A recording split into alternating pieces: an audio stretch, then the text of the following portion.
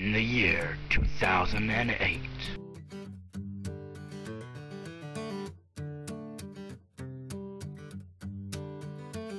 One man would defy all that is right